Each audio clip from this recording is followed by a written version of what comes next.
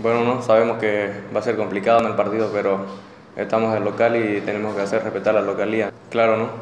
Hay que explotar eso y, y meterle con todo el día domingo del partido y, y, nada, a dejar todo en la cancha, ¿no?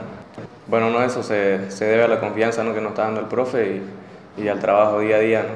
Sí, ¿no? Me siento cómodo y, y eso se debe a toda la confianza ¿no? que, que, nos, da el profe a todos los jugadores, que nos está hablando mucho a, a todos especialmente a los jóvenes que, que siempre tenemos el apoyo del grupo y, de él.